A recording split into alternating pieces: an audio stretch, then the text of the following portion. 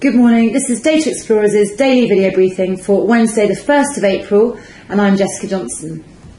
Liberty International hold their extraordinary general meeting today, and the short position is still very high, with 13.5% of the company on loan, up from 10% in early January. Short investors have held on to the trade for the last eight weeks, despite the recent rebound in price from 270p to 410p between late February and now, presumably because they feel that the price might fall again.